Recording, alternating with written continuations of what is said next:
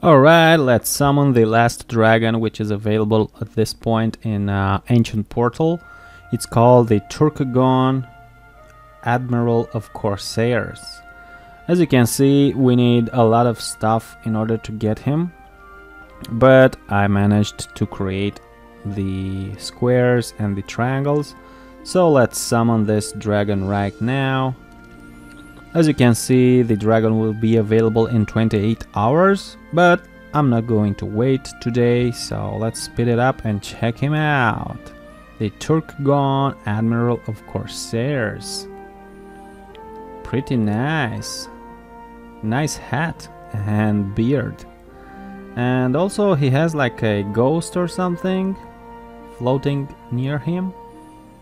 Alright, let's place it into his own habitat right here.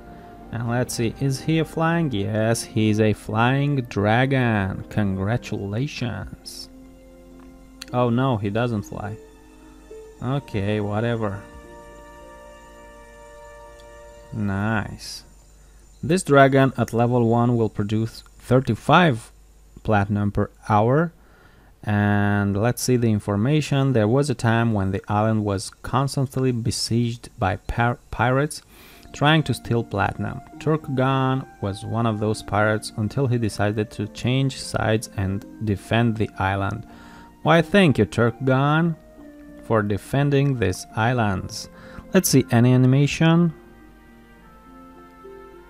Oh, he has a naughty spirit flying near him, which pulls his uh, necklace. Okay, pretty cool. That's how you get the Turkagon Admiral of Corsairs. Check out the next videos where I will evolve them or summon new dragons if they are mm, available. Until next time, have an awesome day guys and have fun in Dragon City.